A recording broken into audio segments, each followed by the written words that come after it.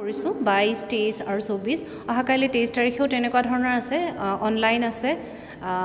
যিটো লাইভ আছে সেইটো আকৌ সেই চিত্ৰ কৰ্মশালাৰ ওপৰত কৰিব। আৰু তাৰ পিছদিনাখন শেষৰ দিনাখন চৌবিছ অক্টোবৰতো হ'ব। এনেকুৱাই আকৌ অফলাইনো আছে অনলাইনো আছে। অফলাইনত যিটো আছে আকৌ সেই চিত্ৰৰ ওপৰত এটা ৱেবিনাৰ কৰা গৈছে।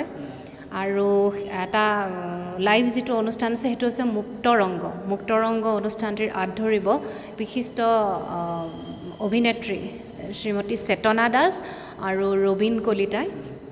সেই অনুষ্ঠানটোত বিশিষ্ট শিল্পীসকলক আমন্ত্ৰণ জনোৱা হৈছে।